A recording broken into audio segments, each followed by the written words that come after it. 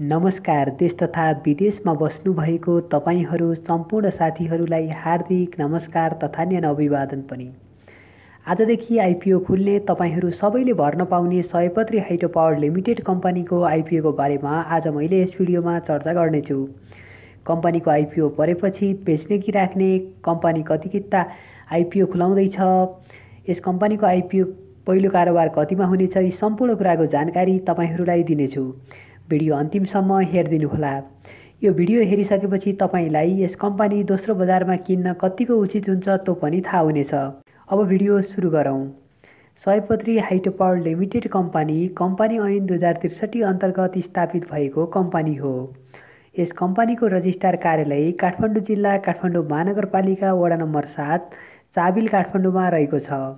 यस कम्पनीको कारोबार गर्ने मुख्य स्थान कम्पनीको रजिस्ट्रार कार्यालय काठमाडौँ जिल्ला काठमाडौँ महानगरपालिका वडा नम्बर सात चाबिल र आयोजना स्थल जलविद्युत केन्द्र बागलुङ जिल्ला ताराखोला गाउँपालिका वडा नम्बर दुई र तिनमा अवस्थित रहेको छ। नेपालमा रहेको अपार जलस्रोतको उपयोग गरी जलविद्युत आयोजनाको पहिचान गरी सम्भाव्यता अध्ययन निर्माण र सञ्चालन गर्ने हेतुले सयपत्री हाइड्रो पावर प्राइभेट लिमिटेड मिति दुई हजार चौसठी साल चार महिना चौधमा कम्पनी रजिस्ट्रारको कार्यालयमा दर्ता भई मिति दुई हजार त्रिहत्तर साल बाह्र महिना आठ गते कम्पनी रजिस्ट्रारको कार्यालयको निर्णयअनुसार प्राइभेट लिमिटेडबाट पब्लिकमा रूपान्तरण भई सयपत्री हाइड्रो पावर लिमिटेडको रूपमा दर्ता भई कारोबार सञ्चालन गर्दै आएको छ। कम्पनीमा हाल पचासजना संस्थापक सेयरधनीहरू रहेका छन्। कम्पनीको प्रबन्ध पत्र तथा न्यावली अनुसार जारी पुँजीको सत्तरी प्रतिशत संस्थापक सेयर दस प्रतिशत आयोजना प्रभावी क्षेत्रका बासिन्दा र बिस प्रतिशत सर्वसाधारणलाई सेयरको लागि बाँडफाँड गर्ने कम्पनीले व्यवस्था गरेको छ। सङ्गठित संस्थाले अन्य हाइड्रोपावर आयोजनाहरू सञ्चालनको लागि अध्ययन तथा निर्माण गर्ने उद्देश्य राखी अध्ययन गरिएको छ।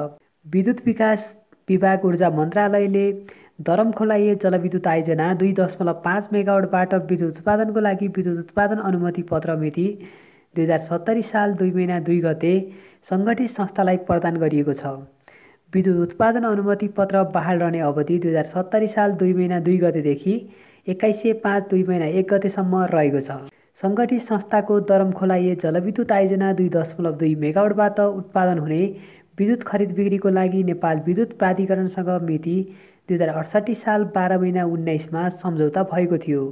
उक्त सम्झौताको समयावधि व्यापारिक उत्पादन सुरु हुने मितिले तिस वर्ष वा विद्युत उत्पादन अनुमति पत्रको अवधि मध्ये जुन घटी छ सो समयसम्म कायम रहनेछ।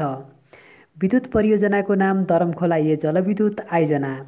आयोजना स्थल बागलुङ जिल्ला गलकोट हटिया बजारबाट नौ किलोमिटर दूरीमा अवस्थित रहेको छ। स्रोत नदी दरमखोलाको पानी। आयोजना किसिम रनफ्रिपर रहेको छ भने उत्पादन क्षमता दुई दशमलव पाँच मेगावट रहेको छ अर्थात् एकदमै सानो हाइड्रो पावर भनेर हामीले बुझ्नुपर्छ। आयोजनाको कुल लागत खर्च त्रिपन्न करोड पैँचालिस लाख आठ हजार दुई सय उन्तिस रुपियाँ पर्न गएको छ भने आयोजनाको प्रति मेगावट लागत खर्च एक्काइस करोड अडतिस लाख तिन हजार दुई सय एकानब्बे रुपियाँ पर्न गएको छ।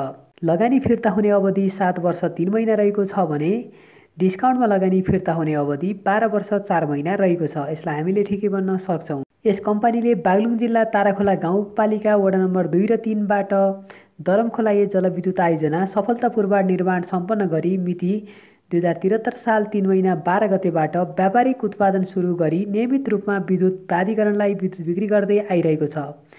दरमखोला ए जलविद्युत आयोजनाबाट उत्पादन हुने विद्युत खरिद बिक्रीको लागि सङ्गठित संस्था र नेपाल विद्युत प्राधिकरण बिच सम्पन्न विद्युत खरिद बिक्री सम्झौताका मुख्य विधाहरू रहेका छन्।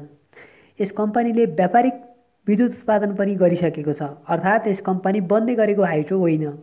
व्यापारिक उत्पादन गरिसकेको हाइड्रो हो। यस कम्पनीको अधिकृत पुँजी पचास करोड रुपियाँ रहेको छ भने उक्त पुँजीलाई प्रतियोगिता रु सयको दरले पचास लाख थान सेयरमा विभाजन गरिएको छ भने यस कम्पनीको जारी पुँजी तिस करोड रुपियाँ रहेको छ। उक्त पुँजीलाई सय रुपियाँको दरले तिस लाख थान सेयरमा विभाजन गरिएको छ।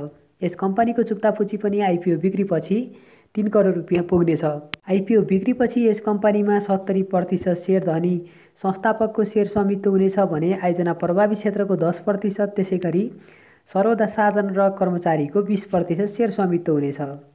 यस कम्पनीको अध्यक्षमा बद्री रहेका छन् जुन रुसमा रहेका छन् उनको यस कम्पनीमा बिस लाख पाँच हजार तिन सय नब्बे किता सेयर स्वामित्व रहेको छ। त्यसै गरी सपिला राज भण्डारीको दस लाख छ हजार एक सय सतासी किता सेयर स्वामित्व रहेको छ। त्यसै गरी एक नारायण चापागाईको बिस लाख पाँच हजार तिन सय उन्नब्बे किता सेयर स्वामित्व रहेको छ भने कुमार प्रसाद पन्तको एघार लाख चार हजार तिन सय बिस किता सेयर स्वामित्व रहेको छ। त्यसै गरी सुनगाबा फाउन्डेसनको दुई लाख अठार हजार एक सय छ्यात्तर किता सेयर स्वामित्व रहेको छ भने गलकोट इन्भेस्टमेन्ट प्राइभेट कम्पनीको एक लाख उन्नाइस हजार छ सय किता सेयर स्वामित्व रहेको छ। यस कम्पनीको अध्यक्षमा सञ्चालकहरूको बद्रिकेसी रहेका छन् भने सञ्चालकहरूमा गोपाल प्रसाद न्यौरे महिला सञ्चालकमा सपिला राज भण्डारी पवन ढकाल नरबहादुर थापा विकास कुमार श्रेष्ठ र स्वतन्त्र सञ्चालनमा विराज गौतम रहेका छन्। अब हामीले यस कम्पनीको पहिलो कारोबार कतिमा हुन्छ यसको बारेमा पनि चर्चा गरौँ। यस कम्पनीको प्रति सेयर आम्दानी इपिएस दुई हजार सतहत्तर अठहत्तर सालको चार रुपियाँ चौरासी पैसा रहेको छ भने यस कम्पनीले दुई हजार असी एकासीसम्म इपिएस तेह्र रुपियाँ सत्र पैसा पुर्याउने लक्ष्य रहेको छ। यस कम्पनीको प्रति सेयर नेटवर्क दुई हजार सतहत्तर अठहत्तर सालको मात्र चौसठी रुपियाँ छ्यानब्बे पैसा रहेको छ भने यस कम्पनीले दुई हजार असी एकासीमा एक सय सत्र रुपियाँ चौहत्तर पैसा पुर्याउने लक्ष्य रहेको छ। यस कम्पनीको पहिलो कारोबार चौसठी रुपियाँ छ्यानब्बे पैसादेखि एक सय चौरानब्बे रुपियाँ अठासी पैसाभित्रमा हुनेछ। यदि यस कम्पनीको माथिल्लो रेन्जमा पहिलो कारोबार भयो भने एक सय चौरानब्बे रुपियाँ अठासी पैसामा हुनेछ भने तल्लो रेन्जमा भयो भने चौसठी रुपियाँ छ्यानब्बे पैसामा हुनेछ। यसभित्र पनि यस कम्पनीको पहिलो कारोबार हुन सक्नेछ। यस कम्पनीको बुक भ्यालु अलिकति हामीले राम्रो भनेर भन्न सकिने अवस्था छैन। यदि तपाईँले यस कम्पनीको प्रतियोगिता रु सय तिरेर आइपिओ भर्दै हुनुहुन्छ र यस कम्पनीको वास्तविक मूल्य भनेको चौसठी रुपियाँ छ्यानब्बे पैसा हो यसकारण हामीले यसलाई धेरै राम्रो भनेर भन्न सकिने अवस्था भने छैन। र यस कम्पनीले आर्थिक वर्ष दुई हजार असी एकासीसम्म बुक भ्यालु अलिकति बढाउने लक्ष्य भने राखेको छ यसलाई हामीले ठिकै भन्न सक्छौँ। यस कम्पनीको आइपिओ पऱ्यो भने तपाईँहरूले लङ टर्मको लागि होल्ड गर्नुभन्दा अलिकति हाई भएपछि बेचेर अर्को राम्रो नयाँ कम्पनी किन्नुभयो भने राम्रो नाफा हुनेछ यसैलाई लङ टर्मको लागि राख्छु भन्नुभयो भने खासै नाफा हुने देखिँदैन। यस कम्पनीले तत्काल बोनस दिन सकिने क्षमता देखिँदैन। त्यो भएर पनि तपाईँहरूले यसलाई लङ टर्मको लागि होल्ड गर्ने सोचले भने नराख्नुहोला। अब हामीले आइपिओको बारेमा चर्चा गरौँ। सयपत्री हाइटो पावरले साउन तेह्र गते अर्थात् आज शुक्रबारदेखि सर्वसाधारणका लागि आइपिओ बिक्री खुला गर्ने भएको छ। कम्पनीले आइजना प्रभावित स्थानीयले नकिनेको एक लाख एक्काइस हजार साठी किता समेत थप गरी कुल सात लाख एक्काइस हजार साठी किता सेयर निष्कासन गर्न लागेको हो। यसमध्ये छत्तिस हजार त्रिपन्न किता सेयर सामूहिक लगानी कोष र चौध हजार चार सय एक्काइस किता सेयर कम्पनीका कर्मचारीहरूका लागि छुट्याइएको छ। बाँकी छ लाख सत्तरी हजार पाँच सय तिरासी किता सेयर सर्वसाधारणले आवेदन दिन सक्नेछन् कम्पनीले जनाएको छ। यसमा प्रति किता रु सयको दरले न्यूनतम दस कितादेखि अधिकतम तिस हजार कितासम्म आवेदन दिन सकिनेछ तर तपाईँहरूले यस कम्पनीको आइपिओ दस किता मात्र आवेदन दिनुभयो भने काफी हुनेछ। यस कम्पनीको आइपिओ छिटोमा साउन सत्र गतेसम्म आवेदन दिन पाइनेछ भने उक्त समयमा सबै सेयर बिक्री नभएमा भने साउन सत्ताइस गतेसम्म खुल्ला रहनेछ। अहिले आइपिओ भर्नेहरूको सङ्ख्या अलि बढी भएको कारणले गर्दा तपाईँहरूले यस कम्पनीको आइपिओ साउन सत्र गतेसम्म भर्न सक्नुहुनेछ। आइपिओ सियासमा सदस्य रहेका ब्याङ्क तथा वित्तीय संस्था र तिनका शाखा कार्यालयहरूबाट तपाईँहरूले आवेदन दिन सक्नुहुनेछ। मेरो सेयर मार्फत पनि अनलाइनबाट पनि आवेदन दिन सकिनेछ। यो आइपिओ बिक्री प्रबन्धक एनआइबिएलएस क्यापिटल रहेको छ भने रेटिङ एजेन्सी केयर रेटिङ नेपालले CARE NP double B IS rating दिएको छ। यसलाई हामीले मध्यम रहेको छ भनेर बुझ्न सक्छौँ।